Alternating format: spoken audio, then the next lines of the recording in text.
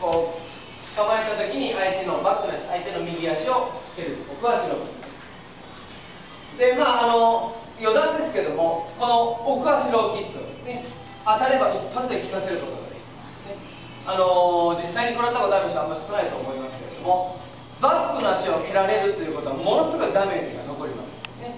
あの右足に比べても奥足っていうのはやっぱりもう一発二発で完全に効かせることができるのでこの技はしっかりとね覚えておくといいでしょう蹴り方いきましょう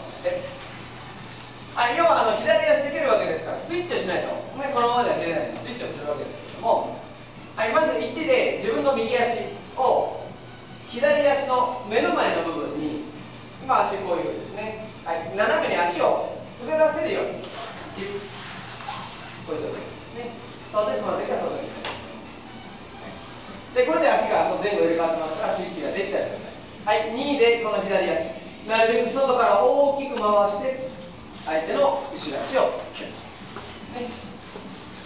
12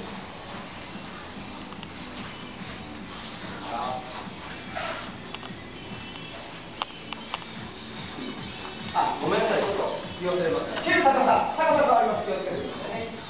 はい、前足を蹴る場合は膝の横のちょっと上の辺り、はい、奥足を蹴る場合は太もものど真ん中ね